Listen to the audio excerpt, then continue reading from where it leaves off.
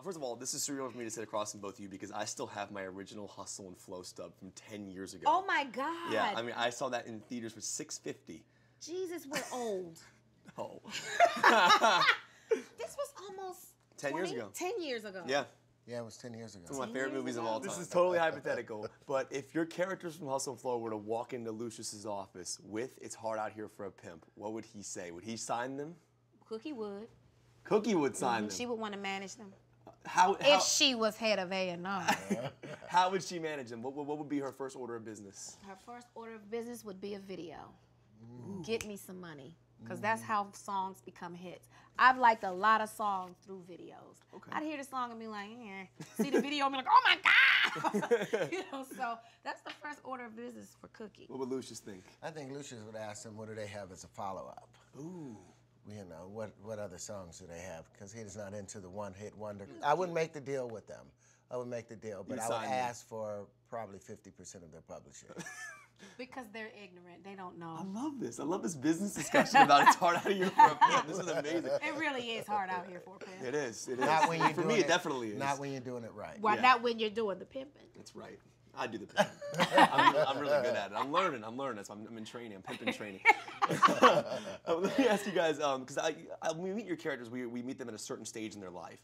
But I think Cookie is such an extraordinarily interesting character. I want to know where she came from, who her parents were, what, what, what, what her- what her favorite foods are. Do you build those into your characters? Do you know those Oh, things? yeah. C- Cookie um, grew up in the hood, uh, broken home. Probably don't even know who her dad is. Mm. Um, and that's why they met at such a young age because she was missing that uh, masculine energy. You know, mama probably dated this one, that one, the, the other, third, Mm. and she's trying to change it. She's that special kid in the hood that's like, I'm getting out of here.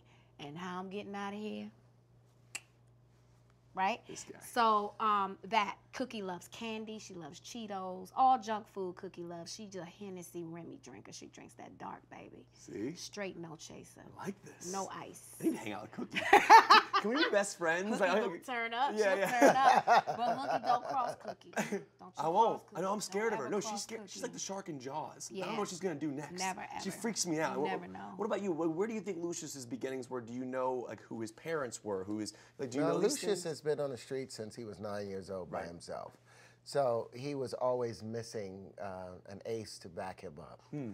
You know, some family. He's seen a lot of garbage, seen a lot of people pretend they're going to be on his side when really they're just trying to shake him down. Hmm. So when he met Cookie, you know, not only was he in love with her beauty, but her ver- veracity, her nature, and her need to care and love and to sacrifice.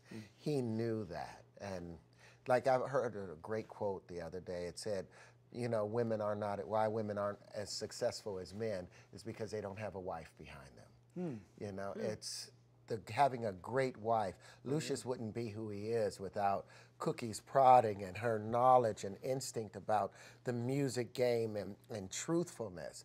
And as a result of that, you know, he was able to grow. And the moment that she's out of prison, like um, as the series progress, you'll see they're working together as a beautiful thing, but it still comes with its own consequences. Right. Now your character, he continues. His past keeps coming up to him. Like there's things that he can't shake.